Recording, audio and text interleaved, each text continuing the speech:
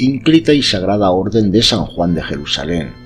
A pesar de cuanto se ha escrito respecto a los orígenes y caracteres primitivos de la ínclita Orden del Hospital, lo cierto es que de modo preciso no se sabe la época fija de su fundación. Según respetables autores, esta institución religiosa y militar nació en la Palestina y débese a unos mercaderes de Amalfi los que obtuvieron permiso en 1048 de Bomensor Monstensaf, sultán de Egipto, para levantar un edificio en donde pudieran hospedarse los cristianos que peregrinaban a Tierra Santa mediante un tributo que aquellos se comprometieron a pagar. Los religiosos que los servían fueron llamados hospitalarios. Al poco tiempo construyeron dos iglesias, bajo la advocación de María Santísima y de Santa María Magdalena, pero acrecentando de día en día el número de peregrinos, establecieron dos hospederías con objeto de separar las personas de los dos sexos y al propio tiempo se fundó otra iglesia en honor de San Juan Bautista, en el lugar que según la tradición oró San Zacarías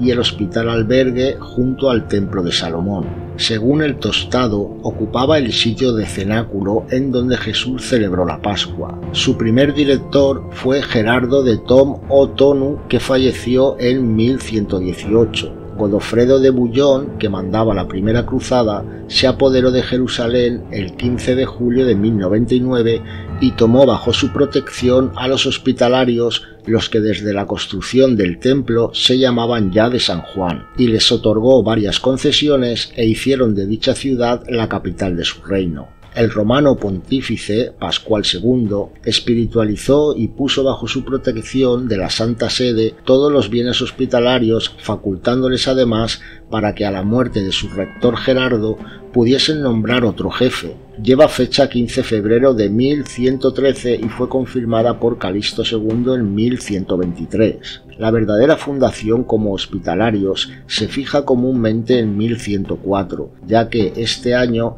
Ramón de Puy ofreció los servicios de la orden para hacer la guerra a los maometanos. En este tiempo ocupaba el trono de Jerusalén Balduino I, hermano de Godofredo. La asistencia que prestaban a los peregrinos puso bien pronto a los hospitalarios en la necesidad de tomar las armas y hacerse hombres de guerra para protegerlos en sus viajes, mantener la libertad de los caminos e impedir las correrías de los infieles. Por este motivo, el mencionado Ramón le dio nueva organización haciendo la orden militar ya para la protección de los peregrinos como también para la defensa de Palestina. Ramón, pues, fue el primer maestre de la orden y bajo su gobierno se implantó la regla por la que debían regirse muy parecida a la que San Agustín y a ella, establecida en 1119, se sujetaron muchas personas de la primera nobleza. En este tiempo se les dio también distintivo consistente en una cruz de tela blanca octógona o de ocho puntas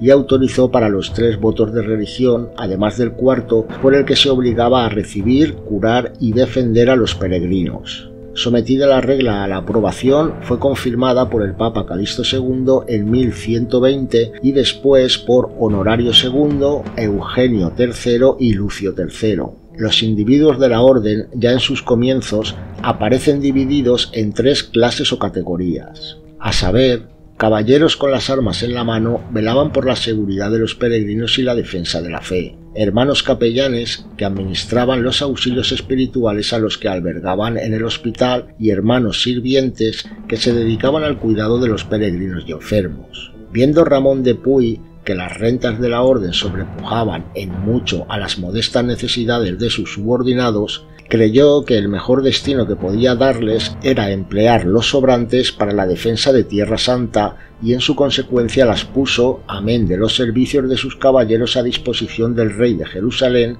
como lo prueba cuando Balduino II en 1118 se vio atacado por el sultán de Egipto y en 1126 por el de Damasco, alcanzando los hospitalarios muy señaladas victorias. Esto les granjeó más y más el aprecio de los reyes de Jerusalén y la Santa Sede los colmó de privilegios. Calixto II en 1110 puso bajo su inmediata protección a la orden y sus bienes y confirmó la excepción del pago de las décimas de su bula An Hotnos. Inocencio II en 1130 les señala la divisa que habían de tremolar en sus estandartes de batalla, o sea, sobre campo de gules o rojo que ostentase la cruz blanca de ocho puntas. Lucio II, en 1145, los exime de los derechos de pasaje, peaje, venda y caritativo subsidio. Los hospitalarios, desde los comienzos de su carrera militar, se apoderaron de varios castillos y además también a sus expensas levantaron otros,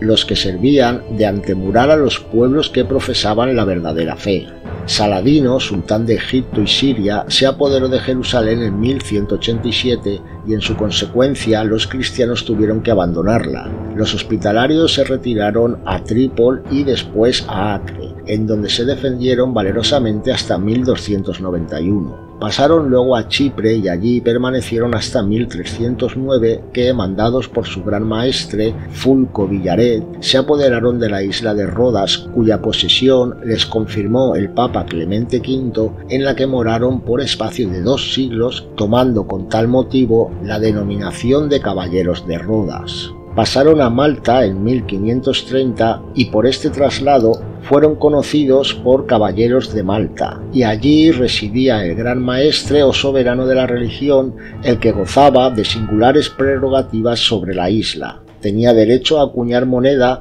concedía gracias y perdonaba a los delincuentes tomó el título de eminencia que le había concedido el Papa Urbano VIII en 1630, pero sus vasallos le daban el tratamiento de eminencia serenísima. Los hospitalarios se establecieron en la Provenza y la casa de San Gil fue la que tuvo el privilegio de albergar al lugarteniente del gran prior, como también se fundaron varias casas en Francia, Italia, Inglaterra y España. Las regiones estaban divididas en grandes prioratos, pues el prior era el director de todas las encomiendas y comandas como se llamaban en Cataluña. Encomiendas. Se entendía por este nombre cierta porción de bienes pertenecientes a la orden, con una casa en donde residía el titular de la encomienda llamado comendador. Unas eran de justicia y otras de gracia. Las primeras se obtenían por derecho de antigüedad o mejoramiento, la antigüedad se contaba desde el día de la recepción